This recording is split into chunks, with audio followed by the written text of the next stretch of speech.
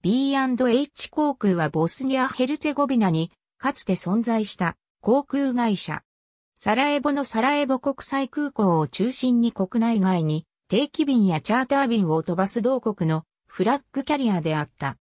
B&H 航空は1994年にエアボスニアとして設立されたが、2003年秋に増加する負債の返済ができずに経営破綻を起こしすべての運行を休止するという事態に陥った。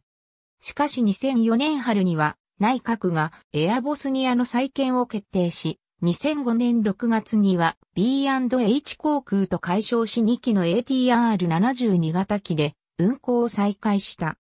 ボスニア・ヘルツェゴビナ政府とエナージョニャベストが共同で会社を保有していたが、2007年後半にボスニア・ヘルツェゴビナ政府は株式の売却することを発表し、2008年にはトルコ航空やクロアチア航空が交渉に入ったと伝えられた。株式のオークションが行われ、トルコ航空、マレーシアのコミンテルコーポレーション、ロイヤル、ヨルダン航空を含むヨルダンのコンソーシアムが入札。2008年10月29日、ボスニア政府はトルコ航空が最高入札者として選出されたと発表。しかし2012年6月、トルコ航空はこの合弁事業を終了。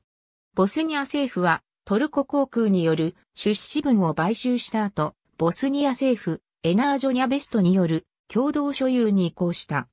2013年4月、唯一飛行可能な ATR72 がメンテナンスのために使用できなくなったため、フライトをキャンセルせざるを得ない事態になった。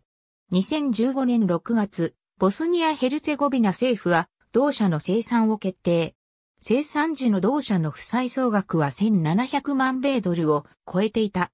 最後の商用飛行は2015年6月11日に行われ、2015年7月2日に航空運輸事業許可が取り消された。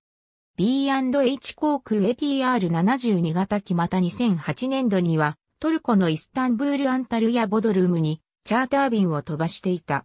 1打間マルクは約82円。ありがとうございます。